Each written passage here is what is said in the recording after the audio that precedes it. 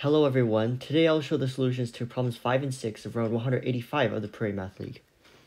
For problem number 5, we have a diagram which shows two straight lines crossing at a point O, uh, and we wish to find the length of x. So, we see that there is a triangle here, and we know its side lengths, so we know this angle, theta. But this thing its theta is the same as this theta. So we know this angle and we know these two lengths. And that immediately makes us think of the cosine law, which states that a squared equals b squared plus c squared minus 2bc times sine of the corresponding angle, say a. Uh, or in our case, O, but it doesn't matter. Um, the point is we can write it out for each of these two triangles using theta as our variable here, and theta and x as the two unknown variables in a system of two equations.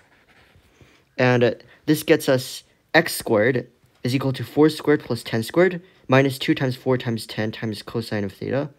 And 8 squared is equal to 4 squared plus 5 squared minus 2 times 4 times 5 times cosine of theta. And we actually don't need to find theta. It's, in our case, it's easier if we just eliminate this part here. The thing, the key thing to notice is that this is actually just half of this. So we can make a really simple elimination by taking this equation and sub subtracting um, two, uh, two times of this equation. And this gets us this equation here, which is x squared is equal to this, but this bunch of numbers, which equates to 162. And now we simply have x equals square root of 162, and square 162 happens to be 2 times 81. And as we all know, 81 is equal to 9 squared.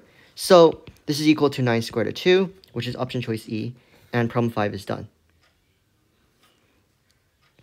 For problem number 6, we wish to find the number of distinct pairs of real numbers which satisfy this scary looking expression here.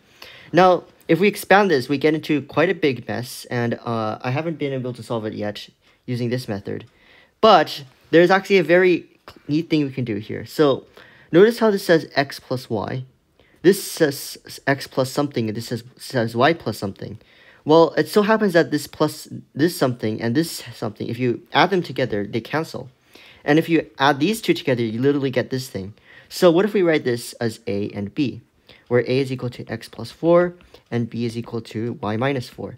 Then this just becomes a plus b. So our equation simplifies to a plus b squared is equal to a squared plus b squared, which gets us a squared plus 2ab plus b squared.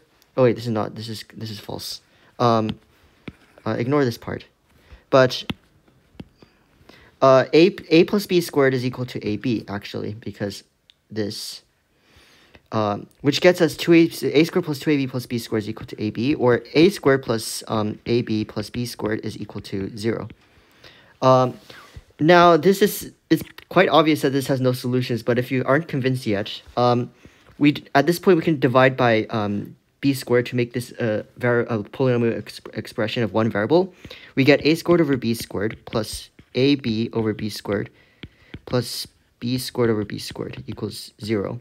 This is, this is after dividing both sides by b, b squared.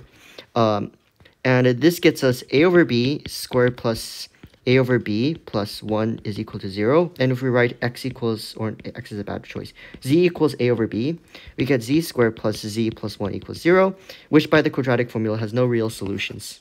And we're done. Thank you for watching.